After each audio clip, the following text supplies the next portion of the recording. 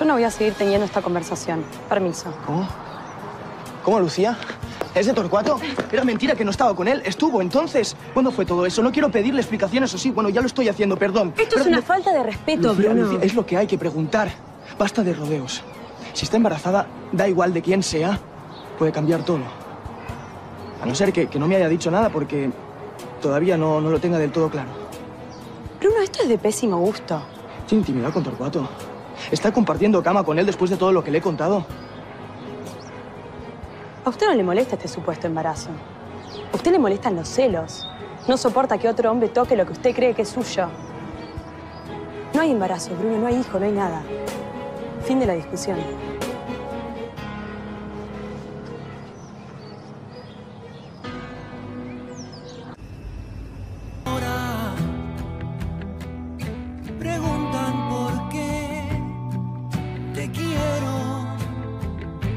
Lo mismo que ayer. No va Bruno.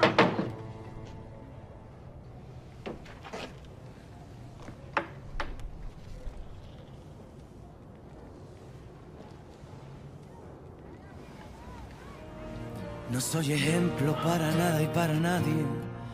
Tengo miserias como cualquiera de ustedes. 14 marcas que me duelen en el alma y 100 defectos que me siguen.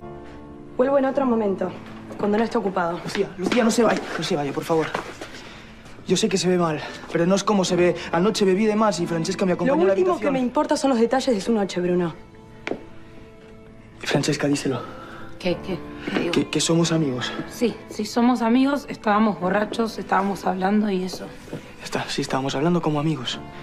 De verdad, y nos quedamos dormidos, no pasó nada. Dormidos también como amigos. No es como se está pensando, Lucía. Yo no sé qué es lo que usted piensa que yo estoy pensando. Yo no pienso nada. A mí me tiene sin cuidado con quién duerme, si duerme o no duerme. No me importa, Sí, Bruno. por favor, no se enfade. Suélteme, Bruno. Yo no soy esa clase de amiga. Todo esto es una confusión. Sí, todo esto es una gran confusión desde el primer día.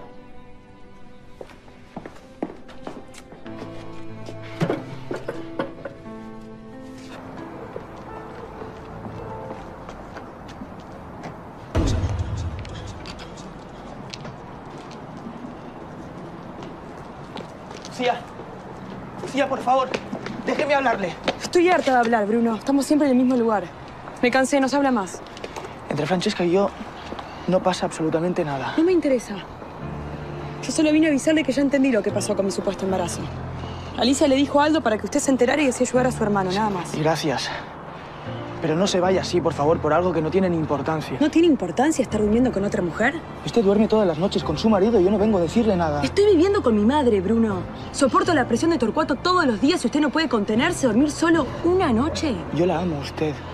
Solamente a usted y a nadie más que a usted. Usted sabe hablar muy bonito. Dice palabras lindas y con ese tonito seductor antes alcanzaba. Ahora ya no. Usted durmió con ella y seguro No, habló no, en basta catalán. ya, basta ya de todo esto. Basta de estas discusiones sin sentido. Sus celos, mis celos, sus dudas, mis enojos. Nosotros no queremos seguir con todo esto. Nosotros queremos otra cosa. ¿Qué queremos nosotros? Estar juntos, Lucía. Dejémonos de estas gilipolleces y estemos juntos. Estemos juntos, por favor. Solo le pido un día. Vámonos a la casa de campo. No puedo, Bruno. Torcuato me vigila. Invente algo, dígale que tiene que ir a buscar las cosas de su padre. Están ahí, yo, yo no las he tocado. Mi madre está muy mal, yo no puedo dejarla sola. Basta ya de su madre, de Francesca, de Torcuato, basta ya de todo. Una vez le pedí una tarde, antes de casarse. Y ahí, yo, yo lo sé, nos enamoramos los dos. Ahora le pido un día, solo un día, 24 horas, para sacarle todas las dudas. Un solo día. Una. Sí, muchas gracias. Con permiso. Muchas gracias, buen día. Ya me decidí. ¿Qué? Recién estuve con Bruno. Ah, no, no se te nota para nada. Me dijo irnos juntos un día a la casa de campo. ¿Y qué le contestaste? ¿Le dijiste que sí? No lo pensé demasiado. Sentí que era lo correcto.